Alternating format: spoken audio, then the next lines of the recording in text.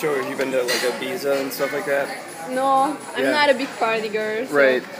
But well, maybe I want to go this year just to see because Have you been to the Hungarian Grand Prix? uh, no, my father went there once Uh-huh. because he's really into it. So we we bought one um, weekend ticket for him for his birthday. so he was really happy. Normally he's like, oh, don't buy me anything, and then now he was like, okay, I'm not going to stay this now. Uh huh. he was really happy with it. So I'm not into car racing. Right. Have you ever been to Monaco? Hmm? Monaco? Have you ever been there? Monaco, no. No. Mhm. I've I've been like next to it, like uh, south of France.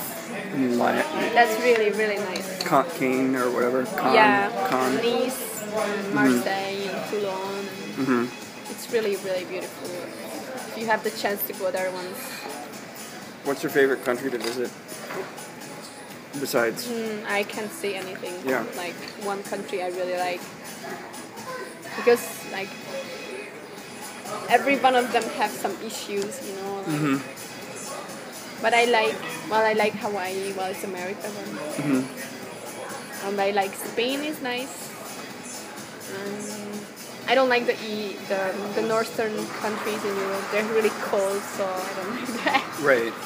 And also they don't have so like big character, like you know, like Mediterranean countries. hmm